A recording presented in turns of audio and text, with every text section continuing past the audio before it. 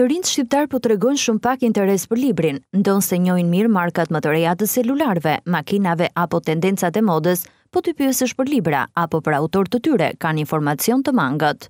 INTV kreu një vëzhgim ku pjesa më e madhe të rinjve thonë se kohën e lirë e kalojnë në lokale apo internet dhe për fat të keq, larg librave jashtëshkollorë. Disa të rinj pohojnë se të vetmet libra që lexojnë janë ato që u duhen gjatë procesit mësimor.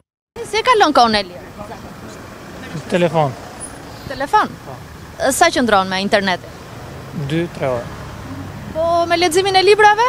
Fatkeqësisht, fare, fare. Sa kohë ke pa lexuar një libër? Vetëm libra shkollor kam lexuar me thënë të drejtën. Unë personalisht përveç pjesës shkollës nuk merrem fort me libra jashtë shkollor, Edhe më vjen keq për këtë gjë, po.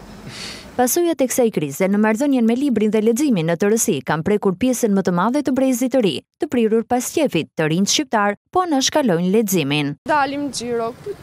Rinia tani është futur më shumë teknologjisë se sa librave. Duke qenë të lidhur me teknologjinë, ata thonë se mjafton të bëjnë një kërkim në internet rreth një autori apo veprave dhe kështu merret informacioni, e ndërsa ka të rinj që kohën e lirë e shfrytëzojnë për aktivitet fizik, qoftë një shëtitje rreth liqenit apo palestër. Tani varet, mund të jetë në kafe, në shpi, xhiro.